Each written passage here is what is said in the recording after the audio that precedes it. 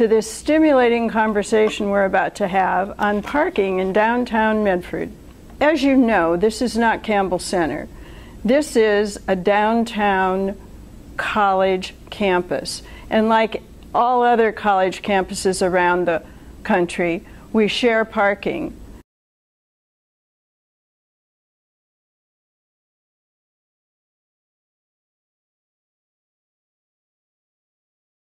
Right, moving on to parking enforcement. No, it's not the Medford Police Department. It is the Diamond Parking Organization that hires enforcement people to walk around, and they're dressed in black, and they carry a little computer, and they are taking pictures of your license plate, and somehow the computer tells them about how much time you have in that particular space. Uh, you need to know that parking is enforced and the ticket is $25. So I hope you all pay attention today and never have to go through the process of paying a parking ticket. But if you do, please visit Diamond Parking. It's really right down the street. They will tell you what you did wrong. They are enormously helpful, and they just might forgive your ticket. Parking is enforced on weekdays between 7 a.m. and 6 p.m. And of course, it's not enforced on weekends and city observed holidays. Of course, at night it's not observed either. Now we're going to move on to street parking. This is your Medford, City of Medford parking map, and I would like you to open it and make sure that you understand that our recommendation is to use this map for parking on the street. There's more to parking in Medford than just using the garages and the, and the uh, lots. I wanted to point out just a couple of things on this map. It's kind of hard to find, but right here is HEC at the corner of Riverside and 8th. So begin to look at your area of parking in and around HEC. The other one I wanted to point out now, I'm going to talk about it later, is the red zone right here. There's parking right here under the freeway. Just keep in mind where it is because we'll talk about it later. As you saw on that map, parking here uh, in Medford on the street is color coded. Uh, free on street time limited parking one to three hours. You can never park on the street for more than three hours. That comes, if you need more than three hours, you'll park in a lot or a garage. But on the street, it's one hour, and that's color coded in purple. Two hours, red, three hours, uh, blue. And of course, you may not park in loading zones. Here are the signs you're going to see on the street. I'm sure these are familiar already to you. Two hour parking means just that two hours, no more. If you try to leave it longer, you may get a ticket. And three hours, same thing. These are maximum times. now, there is one thing you need to know right now, and we'll talk about it a in a little more uh, depth later. You can move your car once a day. I don't know whether that would be convenient if you're taking classes, but for instance, you may want to go to lunch after class and you don't have enough time on the street. You can move your car once to a different block face. A block face is defined as one side of the street between two interne- intersecting streets. I'll read it one more time one side of the street between two intersecting streets. So, in two or three hour zones, you can move your car to a different block face and get an additional two or three hours, even though it's a bit inconvenient. Let's go on to the signs that are important to you when you do park on the street. The sign you see now, you will only see in the downtown uh, purple zone where it's one hour. This sign is, uh, is on every block face in the downtown core. Don't be confused. I have heard some people say that they go into this area and they see one hour free parking, but then they also see pay by phone and they're confused.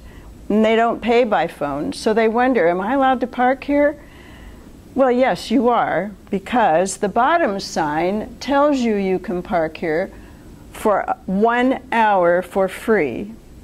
The top sign indicates that you, you can use your cell phone to pay for a second hour. I wanted to show you over here that we have something called the location code. In the downtown core, every, every block face has a location code. And you can move your car once during the day in the downtown area uh, as long as you are in a different location code area and you are only allowed to do it once. There are basically three options for parking downtown. You can park for one hour for free. You can use your pay by phone app and pay for a second hour. Or, as I said, you can move your car. Street parking hourly exception. I recently found this area. This is the area I pointed out to you the two hour parking zone that is under the freeway on East Main Street. The other day I was driving by and I noticed two hour parking, and that's self explanatory. But look at the top sign, and I'm saying, wait a minute, why would I need a, uh, my, to pay if I'm in a two hour zone? Well, this is the one place in Medford where you can park your car leave it for two hours, and then extend it to a third hour using your phone. The only way you can do it is if you have the phone app or if you pay by phone.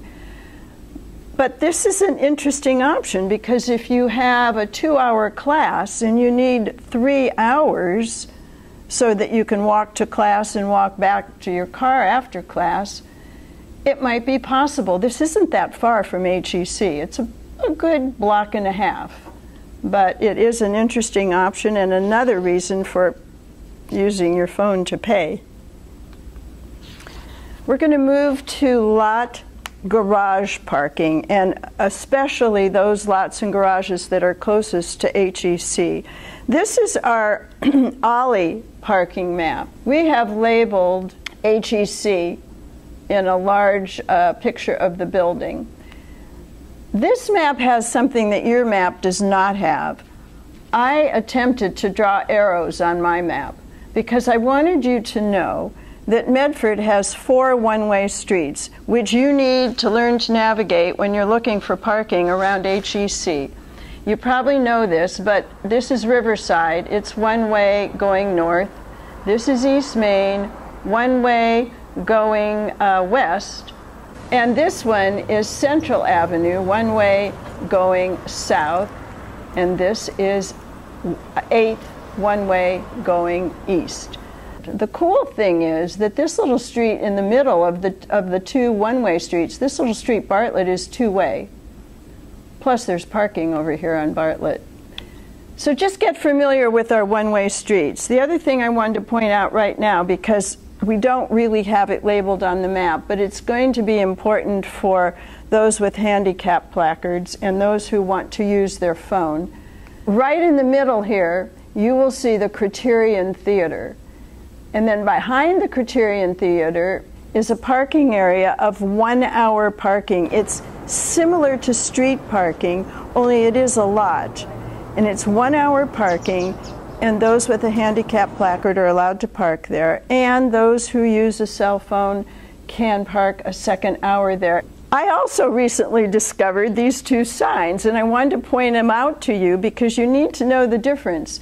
Probably you see the difference right away, but on first glance, what you see is a big P standing for parking surrounded by a green circle. But you need to read the rest of the sign because the one on your right is for permit parking only. Those are people who buy permits, they're monthly permits. Um, it really is not a great option for those of us attending class. However, if you really want to pay $10 a month or however much the permit costs, and they're usually more expensive than that in lots.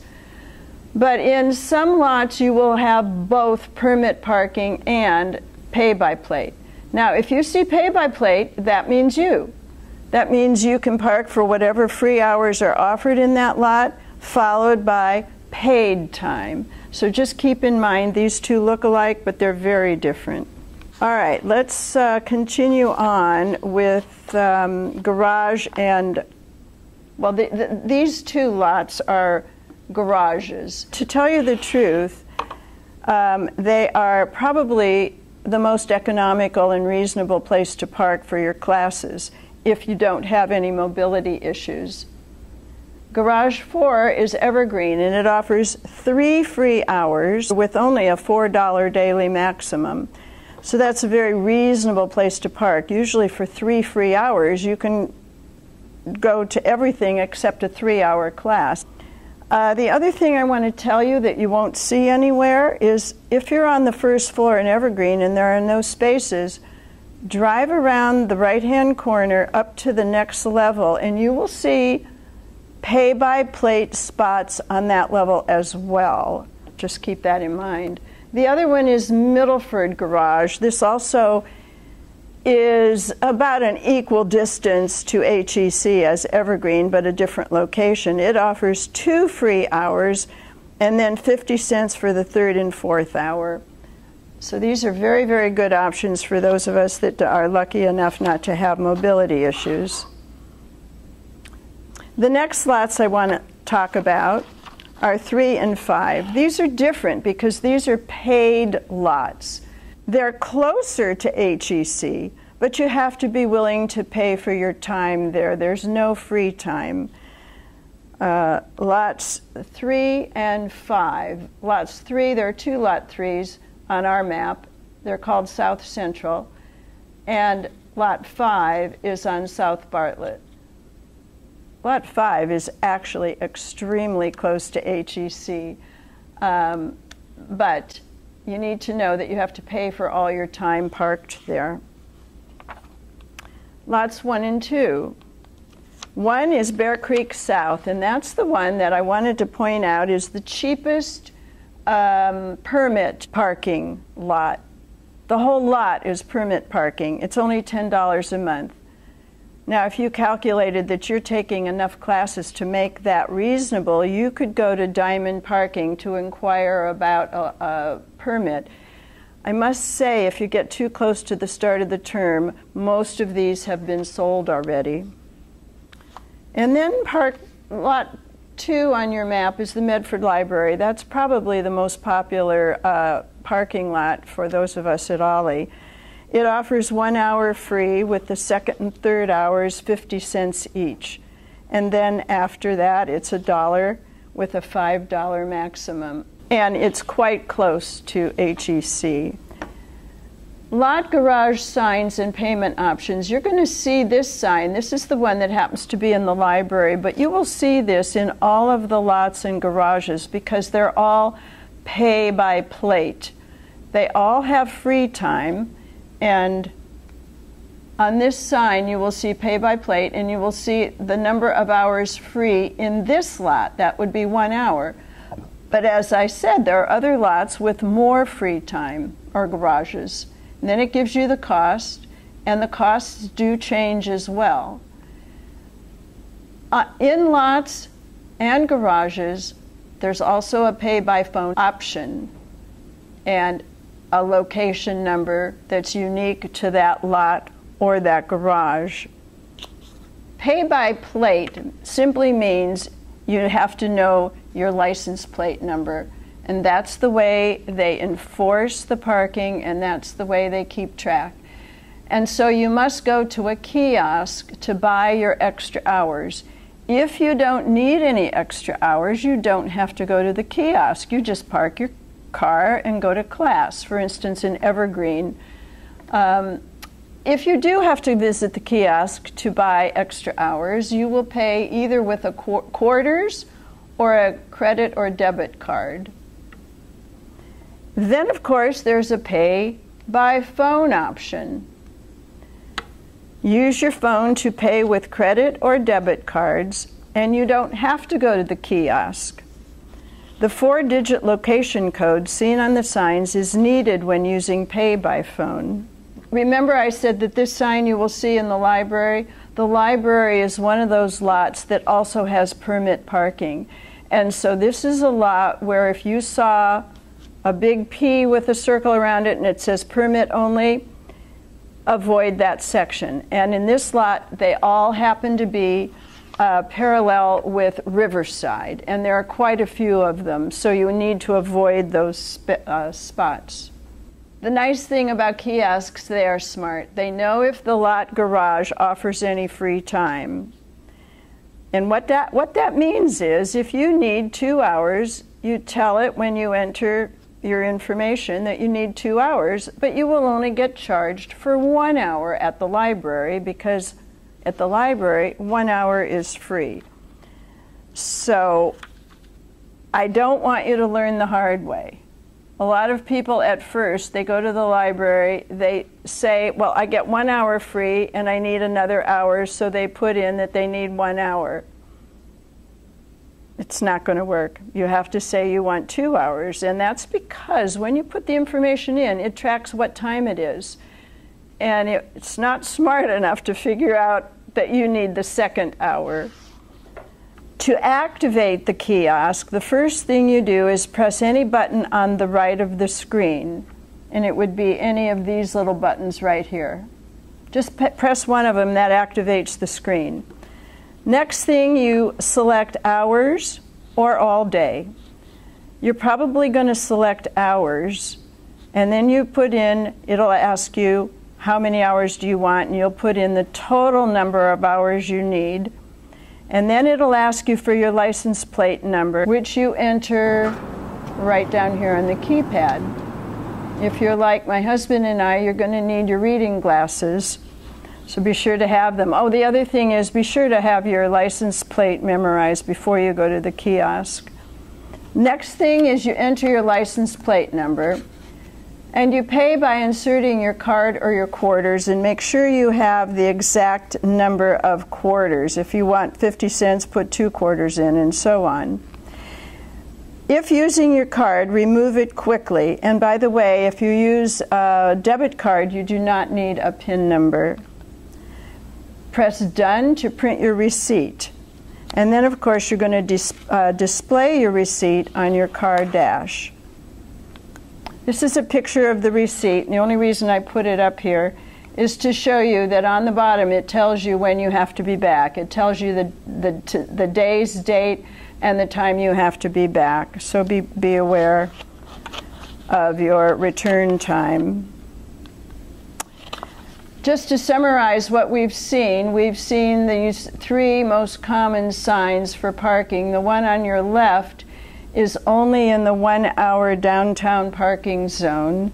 The one in the middle is pay by plate, and then, of course, our friendly, very smart kiosk is on the right. Uh, this is one of your handouts, and I should thank one of my committee members for putting this together for us because it's so handy especially if you're using pay by phone, because it has uh, all of the places you're likely to park, all of the garages and lots you're likely to park, and the codes. If you are choosing to park in the downtown core, those uh, code location numbers are not on this cheat sheet but they're so visible. There's a sign on every single block face, so you shouldn't have trouble in those uh, when you're parking in the core.